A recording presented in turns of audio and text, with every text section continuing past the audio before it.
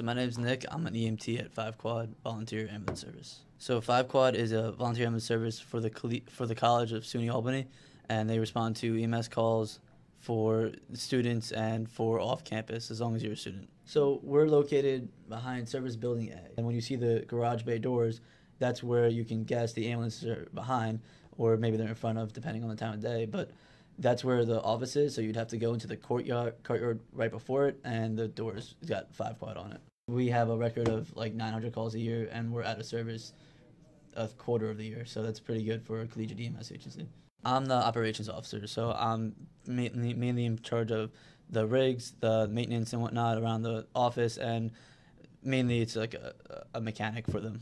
So today I, we have a driver, a crew chief, which is myself. Uh, then there's two attendants. We have an LOD, which is a lieutenant on duty. He's in the office right now, so he's above me, but he's also the same guy who's going to be training the MITs later. The to apply to Five Quad, you have to do an uh, application on our website. After that, if you get picked to be a MIT, which is a member in training, you have to go through what's called a CPR First Aid Weekend, which is the first training we do with them, and it's you get CPR certified and First Aid certified. Stand directly over the patient, do compressions at a rate of 100 to 120 per minute, and do it at a ratio of three compressions for two minutes. Allow for full chest recoil and push hard and fast. Perfect.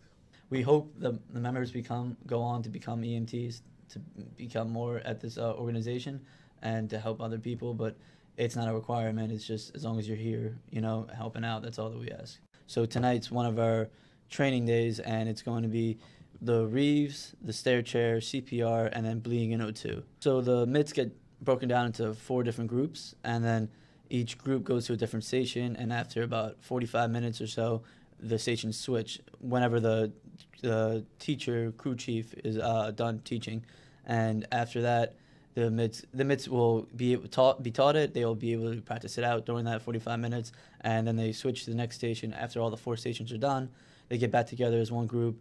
The uh, crew chiefs go over what went wrong, what went well, things to improve on, and whatnot, and then the new member trainer, which is the one in charge of training the MITs, uh, says any last final words, and they go home. There's no requirements. Um, as long as you interview well, you could have no experience in EMS at all. You could not even want to go into EMS as a career, or a lot of them want to be doctors or medics or paramedics or into the civil service. That tends to be the theme now. I like the people that I spend time with here because, again, it's a family. You become very close with these people. You spend hours and weeks with them. So we won an award two years ago for being the best collegiate EMS agency in the country. So we go to uh, this conference called NCEMSF. We have a number of trophies from the, from that uh, in our office. So in EMS, there's a saying that says, "The day you know everything is the day you should quit." Even paramedics who've been doing this for 30 years don't know everything, and the the the saying goes, "If you know everything, you should quit now because you're not going to learn anything else." There's always time to learn. There's always things to learn, and everything's different. That's what I like about this place.